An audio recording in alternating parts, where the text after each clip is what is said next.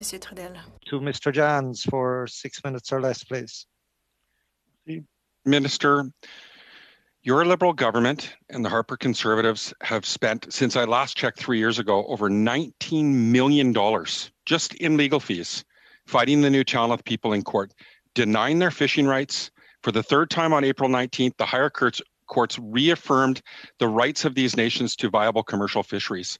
Will you your government and the prime minister finally back up your commitments to reconciliation and affirm that this government will not appeal the most recent ruling because we know you have to decide within the next couple of weeks.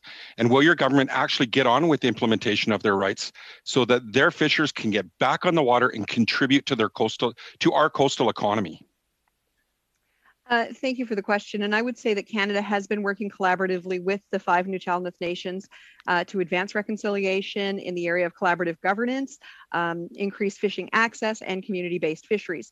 So we've signed an incremental agreement with um, the five nations in September of 2019.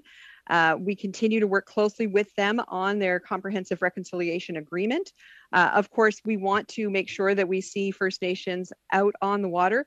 Uh, we are currently, as as you know, Mr. Johns, um, reviewing the the court decision, and and we'll have more to say on that. I, I appreciate that, Minister. Uh, these are a lot. Of, it takes a lot of documents to prepare an appeal. You would have a good idea now whether you're going to take that on and appeal I'm not asking this question because the Nuu-chah-nulth are satisfied with what's happening at the table or not happening at the table. I'm asking you a question. Are you going to respect the courts instead of continuing to spend taxpayers' money fighting Indigenous people in court? I would say that we um, are still reviewing the decision. We are still uh, in going. We are we are looking at this. We will have more to say on it in the near future.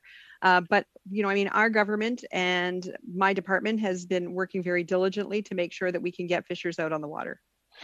While we're talking about Indigenous fishers, have you got a safety plan in place to protect Mi'kmaq fishers that are afraid right now? They're, they've told me they are afraid to go out and exercise their right to a moderate livelihood because your government has failed to protect them. Have you got a plan in place to protect them? Thank you for the question. You know, this is an issue that is extremely um, uh, challenging. There's no question. It's complex. Uh, we nobody wants to see a repeat of what happened last year in the uh, the the with First Nations on the East Coast exercising their moderate livelihood. Um, we of course will have CMP officers uh, on the water. Uh, we will also have Coast Guard. We will also have our CMP who have been uh, deployed to that area if if needed. Um, and these are all put in place to protect all fishers to make sure that you know people are able to work safely